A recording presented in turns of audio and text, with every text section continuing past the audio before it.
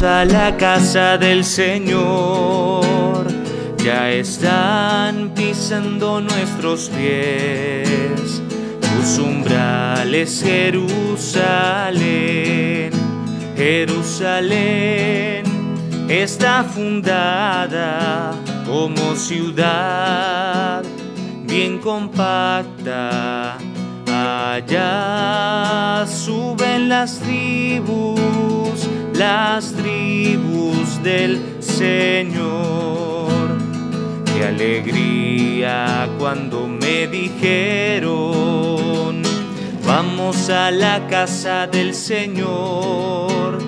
Ya están pisando nuestros pies tus umbrales, Jerusalén. En nombre del Padre, del Hijo, del Espíritu Santo. Amén. La paz de Jesucristo esté con todos ustedes. Seguimos nuestra oración diaria, eucarística, personal, comunitaria, pidiendo a Dios por todos aquellos que sufren el COVID-19.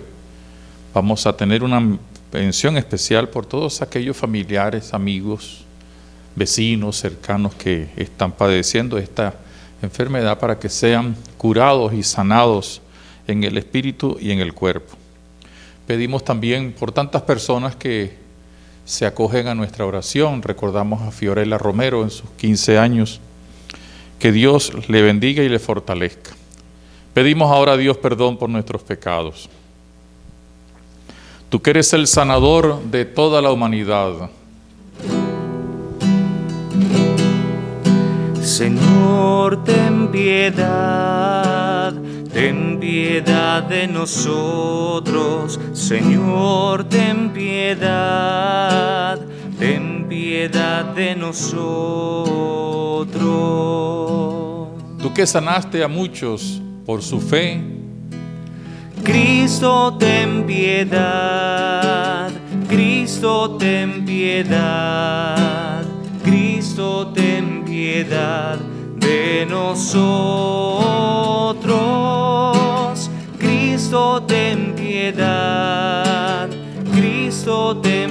Piedad, Cristo, ten piedad de nosotros. Tú que das salud espiritual y corporal a quien lo necesita. Señor, ten piedad, ten piedad de nosotros. Señor, ten piedad, ten piedad de nosotros. Dios Todopoderoso tenga misericordia de nosotros, perdone nuestros pecados y nos lleve a la vida eterna. Oremos. Dios y Señor nuestro, salvación eterna de cuantos creen en ti. Escucha las oraciones que te dirigimos por tus hijos enfermos, en especial los que sufren el COVID-19. Alívialos con el auxilio de tu misericordia, para que recuperada la salud puedan darte gracias en tu iglesia. Por nuestro Señor Jesucristo, tu Hijo, que vive y reina contigo en la unidad del Espíritu Santo y es Dios, por los siglos de los siglos. Amén.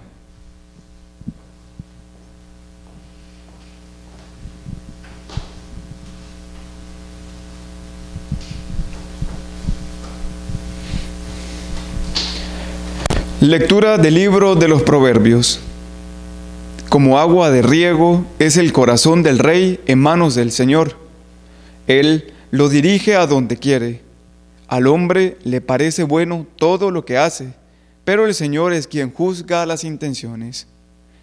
Proceder con rectitud y con justicia es más grato al Señor que los sacrificios. Tras los ojos altaneros hay un corazón arrogante. La maldad del pecador brilla en su mirada. Los proyectos del diligente conducen a la abundancia. En cambio, el perezoso no sale de la pobreza. Los tesoros ganados con mentira se deshacen como el humo y llevan a la muerte. El malvado busca siempre el mal y nunca se apiada de su prójimo. Cuando se castiga al arrogante, el sencillo aprende. Cuando se amonesta al sabio, cree su ciencia. El Señor observa el proceder de los malvados y acaba por precipitarlos en la desgracia. Quien cierra a los oídos a las súplicas del pobre, clamará también, pero nadie le responderá. Palabra de Dios.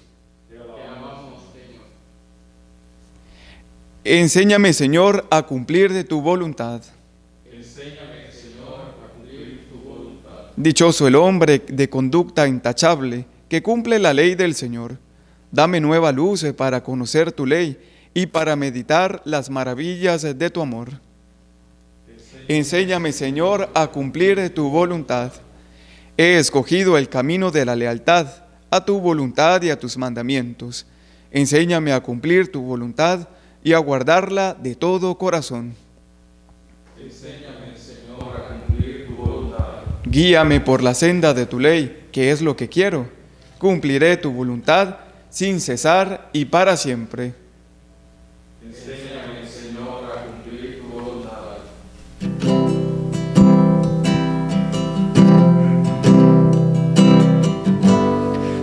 Palabra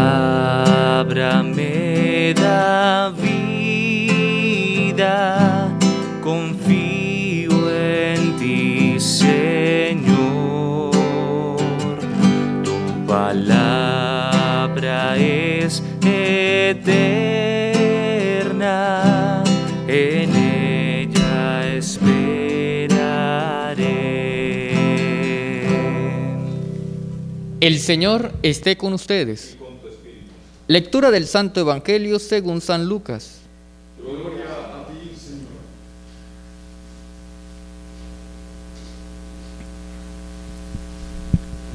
En aquel tiempo fueron a ver a Jesús su madre y sus parientes, pero no podían llegar hasta donde él estaba porque había mucha gente. Entonces alguien le fue a decir, tu madre y tus hermanos están allá afuera y quieren verte. Pero él respondió, mi madre y mis hermanos son aquellos que escuchan la palabra de Dios y la ponen en práctica. Palabra del Señor. Gloria a ti, Señor Jesús. Por esta palabra del Santo Evangelio, se han perdonado nuestros pecados. Amén. Amén.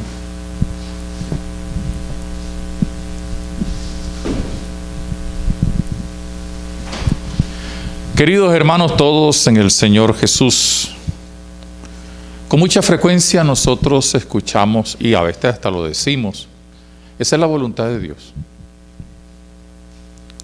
Una persona tiene un accidente, esa es la voluntad de Dios. Una persona sale mal en el examen, esa es la voluntad de Dios.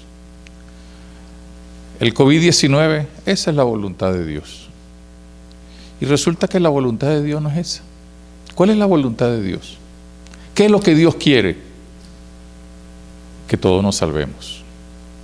Y que todos nos salvemos en medio de las alegrías y en medio de las tristezas. Hay una serie de cosas que no dependen de Dios, dependen de nosotros.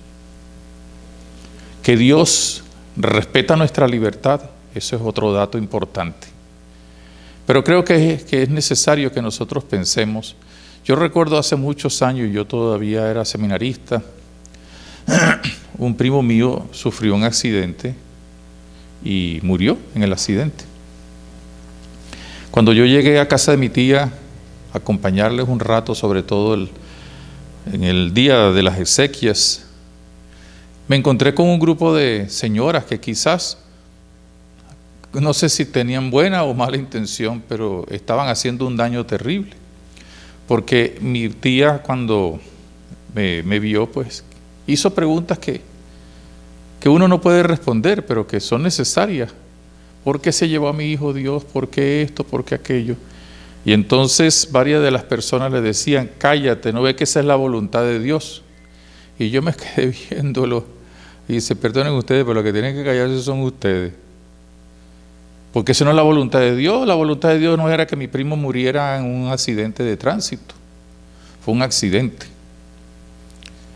Lo que sí hay que ver es en ese acontecimiento una llamada a cumplir la voluntad de Dios.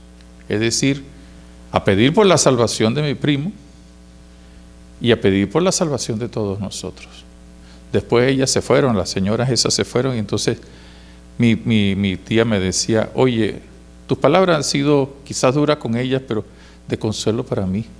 No me había fijado en que yo puedo pedir a Dios la salvación de mi hijo y mi salvación también. Esa es la voluntad de Dios. La voluntad de Dios, por tanto, no es si llueve hoy o no llueve mañana. Dios permite todas esas cosas, ciertamente, porque ha dejado en la historia de la humanidad y en la historia de la naturaleza, pues el que haya también todo un camino.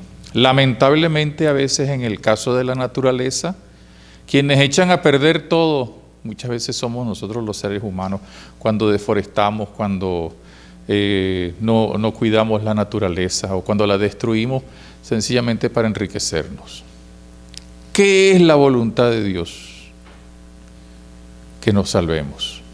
Y fíjense que cuando Jesús eh, le dicen, ahí está tu madre y tus hermanos, ¿qué dice él? Mi padre, mi madre, mis hermanos son aquellos que cumplen la voluntad de Dios. Uno pudiera decir, es una falta de respeto para su mamá, porque inmediatamente hubiera salido a visitarla o a saludarla, o quién sabe a qué. Pero él sabía muy bien que lo podía decir. ¿Por qué? Porque gracias a que María dijo, hágase en mí según tu voluntad, él se encarnó. ¿Y, ¿Y, qué significa hágase en mí según tu voluntad? De que yo me convierta en la madre del Salvador, es decir, en la posibilidad de que la salvación entre en este mundo. Por eso el que cumple la voluntad de Dios, el que la busca cumplir, el que ayuda a cumplirla, ese no solamente está en el camino verdadero, sino que se puede considerar hijo de Dios. Nosotros todos somos bautizados. Y los bautizados se supone que cumplimos la voluntad de Dios. ¿Y cuál es la voluntad de Dios? Que nos salvemos y ayudemos a salvar a los demás. El próximo domingo el Evangelio nos habla de una cosa dura para nosotros. ¿Quiénes se salvan? Los que le dicen a Dios que sí. Y por eso las prostitutas, los publicanos, los pecadores y, y toda la gente a lo mejor que, que nosotros despreciamos, resulta que van primeritos que nosotros, porque ellos tratan de salvarse. Tratan de salvarse. Y buscan salvarse. Y se salvan. Y si no, un ejemplo muy bueno es el del buen ladrón. Pero entre nosotros tenemos esa tentación de pensar, ya lo veremos el domingo que viene en, el Evangelio, de pensar que somos los chéveres, que somos la calidad de Dios, porque hemos sido bautizados, porque este, pagamos alguna ofrenda, porque ayudamos a no sé quién, porque como los fariseos cumplo todas las cosas y después nos olvidamos de la salvación de los demás. Oramos por los enemigos o los adversarios o la gente que nos cae bien. Bueno, pero es que, esos son, son mala gente, le dicen a uno sí, pero hay que buscar la salvación de ellos. Y a lo mejor en toda la eternidad te va a tocar al lado de ellos. Y no vas a poder decir que no, porque los dos van a estar haciendo lo mismo, alabando y bendiciendo al Señor para siempre. En este día creo que es importante que la palabra de Dios nos ayude a tener claro dos cosas. Una, de que no cualquier tontería es voluntad de Dios. No cualquier tontería. La gran voluntad de Dios es que nos salvemos. Y segundo, que si somos los hijos de Dios Padre, los hermanos de Jesús, pues sencillamente nos distinguimos por cumplir la voluntad de Dios ayudarnos y ayudar a los demás a que se salven. Para eso con la palabra de Dios, con la Eucaristía, tenemos un gran medio, porque es pan de vida eterna, es palabra de vida eterna, por tanto, el que la lee y la pone en práctica, el que come su cuerpo y bebe su sangre, se salva si lo hace con dignidad. Seamos pues hombres y mujeres de cumplimiento de la voluntad de Dios pero de la verdadera voluntad de Dios, no de la tontería que yo quiero. Es que yo quiero que esto se dé, porque esa es la voluntad de Dios. No, la voluntad de Dios es que nos salvemos y que nos salvemos junto con el pobre, con el rico, junto con el pecador y junto con el santo, si alcanzamos la plenitud de la salvación, para lo cual se encarnó Jesucristo. Y ese es el fruto precisamente de María, que supo decir, hágase de mí según tu palabra, cúmplase de mí tu voluntad. Amén. Con la intercesión de María presentamos nuestra oración por la iglesia para que en todo momento ayude a la humanidad a buscar y cumplir la voluntad de salvación que nos da Dios, roguemos al Señor. Te lo pedimos, Señor. Pedimos por todos los médicos, personal voluntario, enfermeros, todos aquellos que de una u otra manera colaboran para erradicar, prevenir y curar el COVID-19, roguemos al Señor. Te lo pedimos, Señor. Por todos los enfermos, vamos a pedir de una manera particular a aquellos que están muy cerca de nosotros, de ustedes, de mí, de todos nosotros, que nos piden una oración para que el Señor fortalezca su salud espiritual y corporal. Roguemos al Señor. Te lo pedimos, Señor. Para que no solamente Dios nos ayude a prevenir, a curarnos de este COVID-19, sino nos ayude, ayude a cumplir con las directrices que nos piden que debamos a realizar. Roguemos al Señor. Te lo pedimos, Señor. Pidamos por tantos jóvenes que van haciéndose el camino, abriéndose el camino en la vida. Roguemos al Señor. Te lo pedimos, Señor. Y por todos nuestros difuntos, en especial aquellos que recordamos con cariño, con gratitud, roguemos al Señor. Te lo pedimos, Señor. Dichoso Señor somos porque escuchamos tu palabra. Danos tu fuerza para ser testigos del amor de Jesucristo, tu Hijo, nuestro Señor. Amén.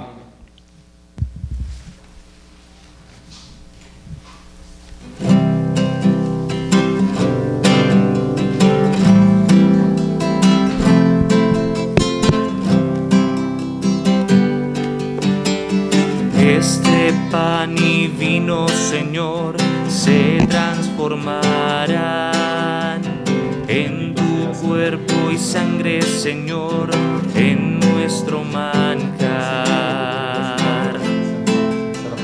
Gracias al sol y al labrador, en el altar florecen hoy las espigas, los racimos que presentamos a Dios. Este pan y vino, Señor, se transformarán sangre, Señor, en nuestro manjar. Este pan y vino, Señor, se transformarán en tu cuerpo y sangre, Señor, en nuestro manjar. Este pan y vino, Señor, se transformarán y sangre, Señor, en nuestro manjar. Y en el momento de ofrecer este sacrificio de la iglesia, oremos hermanos a Dios Padre Todopoderoso.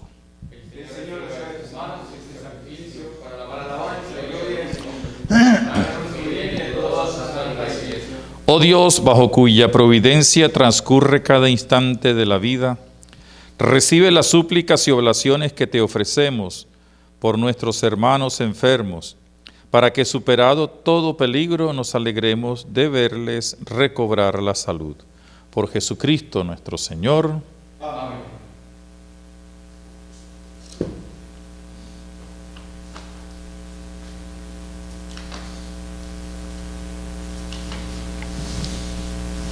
El Señor esté con ustedes. Levantemos el corazón. Demos gracias al Señor que es nuestro Dios. En verdad es justo y necesario, es nuestro deber y causa de nuestra salvación. Darte gracias, Padre Santo, siempre y en todo lugar, por Jesucristo, tu Hijo amado. Por Él que es tu palabra, hiciste todas las cosas tú nos lo enviaste para que hecho hombre por obra del Espíritu Santo y nacido de María la Virgen fuera nuestro Salvador y Redentor. Él, en cumplimiento de tu voluntad, para destruir la muerte y manifestar la resurrección, extendió sus brazos en la cruz y así adquirió para ti un pueblo santo. Por eso con los ángeles y los santos cantamos el himno de tu gloria. Santo, santo, santo es el Señor, Dios del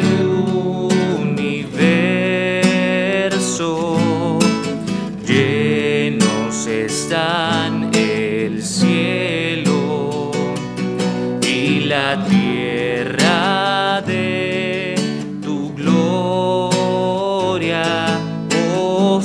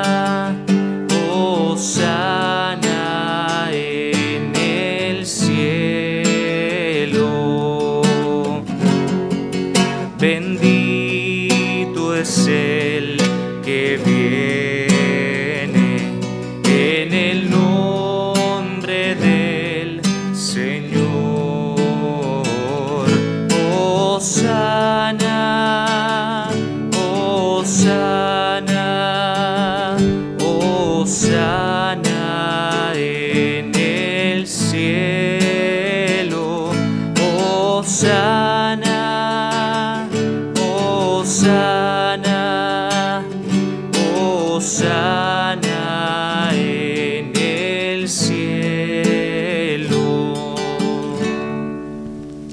Santo eres en verdad, Padre, fuente de toda santidad.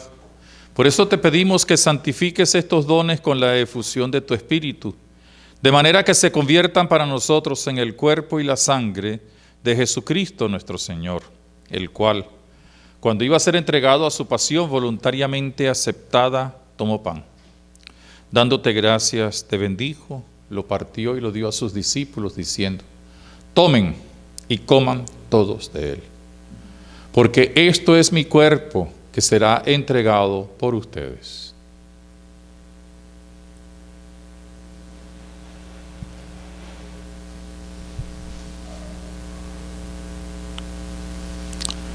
Del mismo modo, acabada la cena, tomó el cáliz y dándote gracias de nuevo, lo pasó a sus discípulos diciendo, tomen y beban todos de él, porque este es el cáliz de mi sangre sangre de la alianza nueva y eterna, que será derramada por ustedes y por muchos para el perdón de los pecados. Hagan esto en conmemoración mía.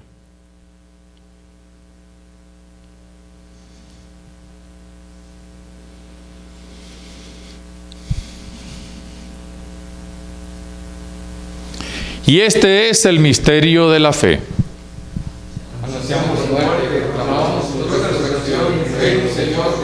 Así pues, Padre, al celebrar ahora el memorial de la muerte y resurrección de tu Hijo, te ofrecemos el pan de vida y el cáliz de salvación, y te damos gracias porque nos haces dignos de servirte en tu presencia. Te pedimos humildemente que el Espíritu Santo congregue en la unidad a cuantos participamos del cuerpo y sangre de Cristo. Acuérdate, Señor, de tu iglesia extendida por toda la tierra, y con el Papa Francisco, con nuestro obispo Mario, y todos los pastores que cuidan de tu pueblo, lleva a su perfección por la caridad. Acuérdate también de nuestros hermanos, que durmieron en la esperanza de la resurrección, y de todos los demás difuntos, que han muerto en tu misericordia. Admítelos a contemplar la luz de tu rostro. Ten misericordia de todos nosotros, y así, con María la Virgen, Madre de Dios, su esposo San José, los apóstoles, y cuantos vivieron en tu amistad a través de los tiempos, merezcamos por tu Hijo Jesucristo compartir la vida eterna y cantar tus alabanzas. Por Cristo, con Él y en Él, a ti Dios Padre Omnipotente, en la unidad del Espíritu Santo, todo honor y toda gloria por los siglos de los siglos. Amén.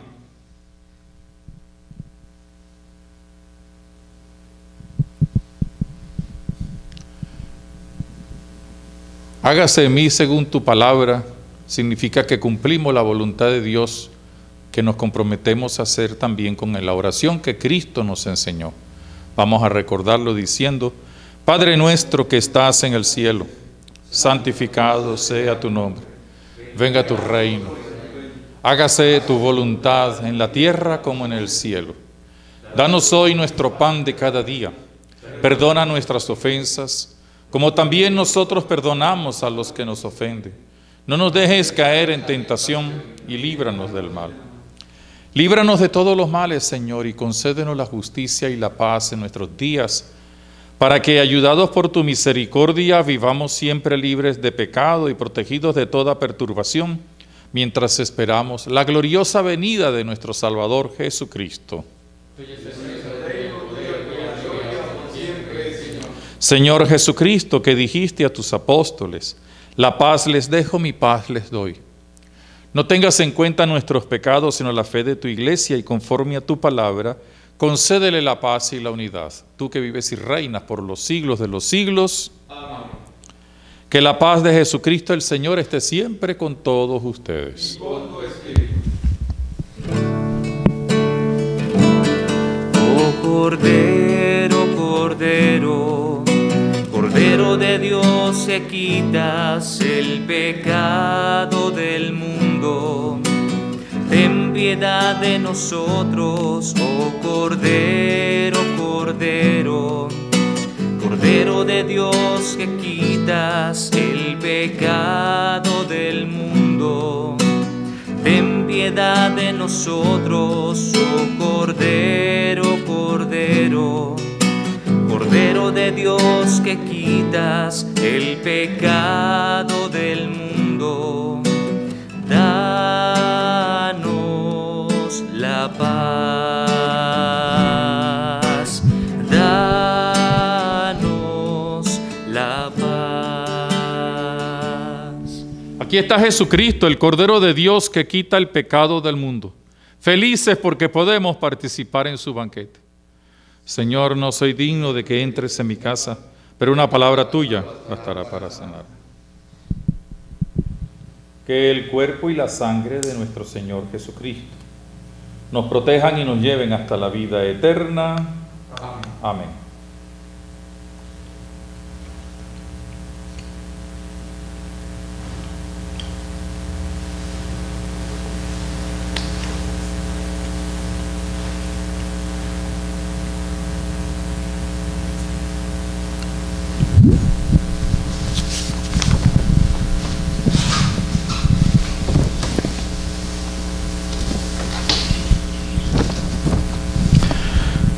Con la certeza de nuestra fe recibida como don de tu Espíritu, acudimos ante ti, oh Santo Cristo de la grita presente en el Santísimo Sacramento del altar.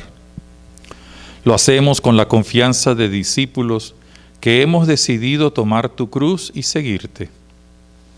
Como bien lo sabes, estamos siendo sometidos a una fuerte prueba. No negamos que nos asusta y nos crea angustia Sentimos la necesidad de ser fortalecidos en nuestra debilidad y fragilidad humana, pero a la vez sentimos la fortaleza que nos viene de tu gracia y protección auténtica, llena de amor. Elevamos nuestra mirada humana y de fe hacia ti. Nos conseguimos con tu rostro sereno, el cual nos transmite seguridad, pues refleja la satisfacción de haber cumplido con la voluntad del Padre Dios de salvarnos y hacernos sus hijos. Tus labios entreabiertos sabemos que siguen orando al Padre por nosotros, sobre todo en este tiempo de emergencia sanitaria. Contemplamos tus brazos abiertos y clavados en la cruz, con los cuales nos sostienes para no ser vencidos por la tentación y la prueba, y a la vez para abrazarnos amorosamente y entonces poder comprobar que somos protegidos de todo mal y adversidad. Admiramos tu costado abierto que nos muestra tu amantísimo corazón y te pedimos que Él detenga todo aquello que ponga en peligro nuestra salud espiritual y corporal. Es el corazón sacerdotal con el cual diste tu vida por la salvación de toda la humanidad y así quitar el pecado del mundo. Tú eres peregrino en nuestras montañas y valles andinos, y el reflejo de tu luz se extiende por toda nuestra patria. Queremos seguir siendo también caminantes contigo, para continuar hablando de ti con nuestras palabras, acciones y testimonio de caridad. Estás presente en nuestros hogares, comunidades, parroquias e instituciones y sabemos que nos escuchas. Da aliento a los que trabajan en bien del pueblo. Custodia a los más pobres, excluidos y a los enfermos. No nos desampares en este tiempo difícil. Como los discípulos de Maús te decimos, quédate con nosotros en este anochecer que quiere llenarnos de oscuridad, temores y desesperanza. Por tu sangre redentora mediante la cual has conseguido convertirnos en hijos de tu Padre, y con la permanente asistencia del Espíritu Santo Consolador, haz que pronto seamos liberados de la pandemia que azota a nuestra región, a nuestra patria y al mundo. Cuenta con nosotros, sabes que donde estemos y en las circunstancias que podamos vivir, nuestra alma estará siempre ante ti. Te lo pedimos por intercesión de María de la Consolación, tu Madre, para que nuestra senda tu luz ilumine y al andar nos aliente tu amor. Amén.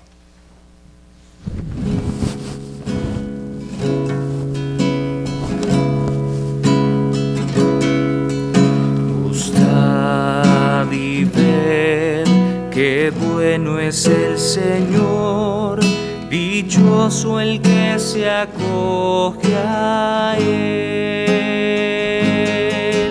Gustad es el Señor, dichoso el que se acoge a él. La palabra del Señor es sincera y todas sus acciones son leales.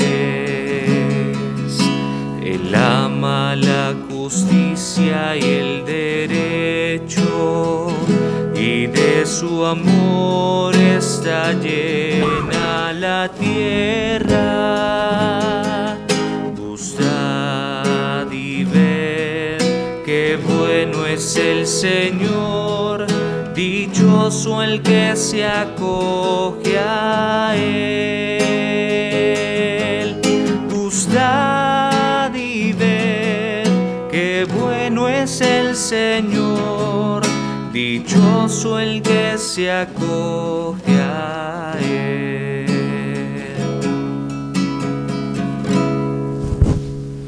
Oremos.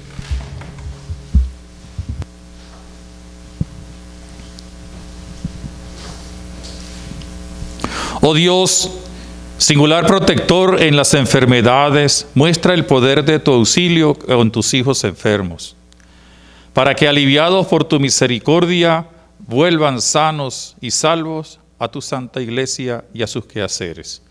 Por Jesucristo nuestro Señor, pedimos a la Virgen María que bendiga a todos nuestros hermanos enfermos y a aquellos que se han puesto en las manos de nuestras oraciones. Dios te salve María, llena eres de gracia, el Señor es contigo. Bendita tú eres entre todas las mujeres y bendito es el fruto de tu vientre Jesús. Santa María, Madre de Dios, ruega por nosotros pecadores, ahora y en la hora de nuestra muerte. Amén.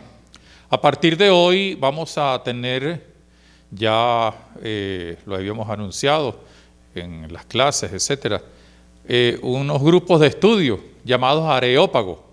Areópago 1, Areópago 2 y vamos a abrir ya el número 3. Y todos los martes, Dios mediante, vamos a tener un tema de estudio.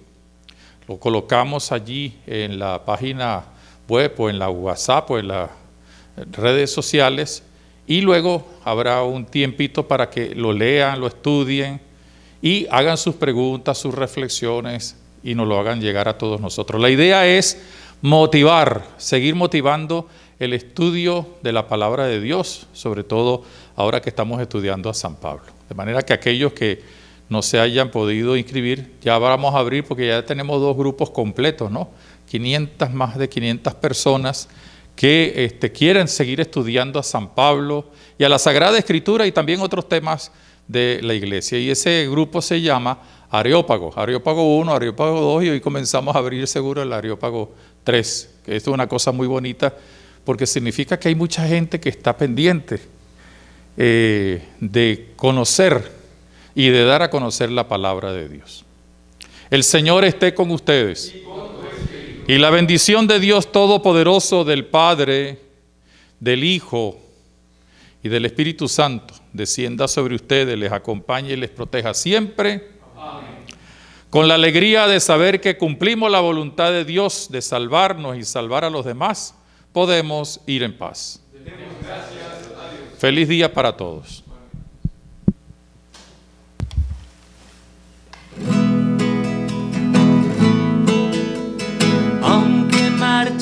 Por la oscuridad, nada he de temer, porque tú conmigo vas, el pastor que me hace sosegar.